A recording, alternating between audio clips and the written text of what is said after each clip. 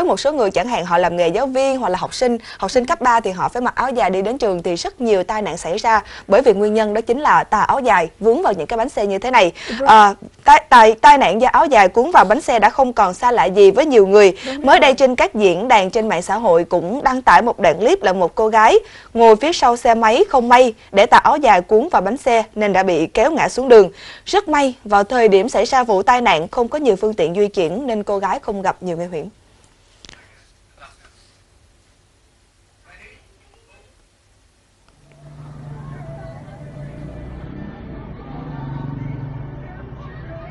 Ôi xổi Cái, cái, cái áo. Ôi xổi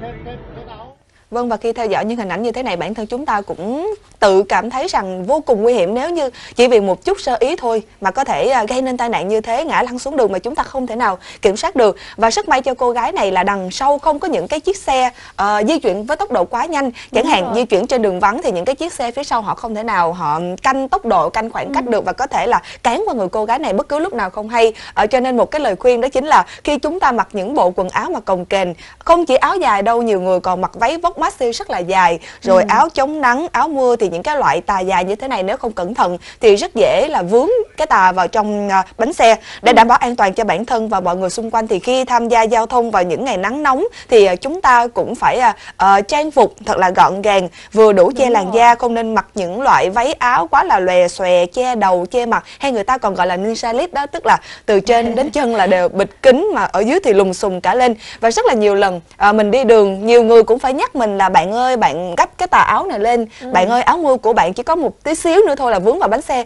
thì lúc này đây mình mới giật mình hốt hoảng là mình mới cuốn những cái tà áo dài hoặc là cái tà áo mưa của mình mình cuộn lại cho nó gọn gàng ừ. lại cũng may là có người đi đường nhắc chứ mà nếu như mình không có ai nhắc thì sự tai nạn xảy ra cũng bất cứ lúc nào không hay đâu